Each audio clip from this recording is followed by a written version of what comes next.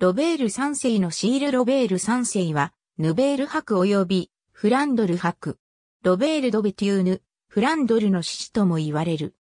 ロベール3世は、フランドル伯、ギード・ダンピエールと、その最初の日マティルド・ドベテューヌとの間の長男である。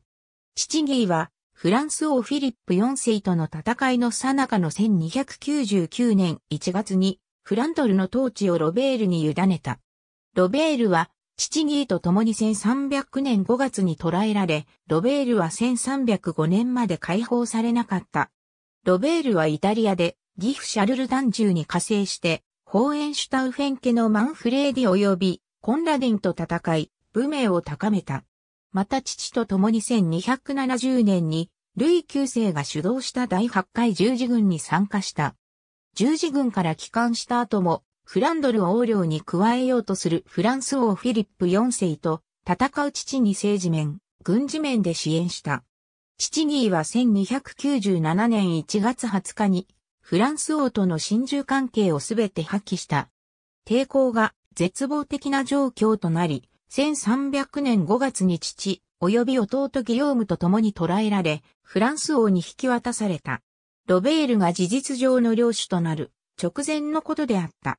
ロベールはシノンの城に監禁された。一般に信じられていることと異なり、実際にはロベールは金白社の戦いには参加していない。1305年7月、トーギーが補修の身のまま死去した後、ロベールはフランドルに戻ることを許された。アティスシュルオルジュ条約の締結は、ロベール3世が白領を支配していたことを示している。当初、ロベールは地方や都市にそれぞれの義務を果たさせることに成功していた。しかし1310年4月、ロベールは家臣や一族の支援のもと、フランスに敵対し始めた。外交面、軍事面でロベールはフランス王と対立した。1318年12月、イングランド王エドワード2世は貿易上の通行を容易にするために、ロベール3世とエノーハクギヨーム1世との仲を仲介する貴族を派遣した。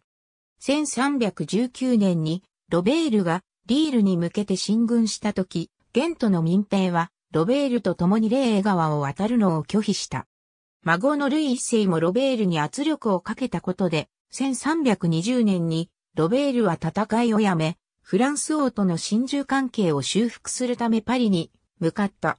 しかしその後も、ロベールは破門されるまで、アティスシュロールジュ条約の履行を妨害した。ロベールは1322年に死去し、孫のルイ一世が白衣を継承した。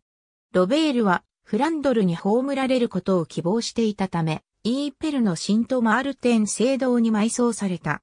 ロベールの遺体は、リールとデュエが再びフランドル白領となった時に、ドゥエ近くのフランヌ修道院に改装された。最初のヒブランシュ及び父ギーもこの修道院に埋葬されている。ロベールは二度結婚した。1265年にシャルル・ダンジューの娘ブランシュと結婚し、一男を設けたが創生した。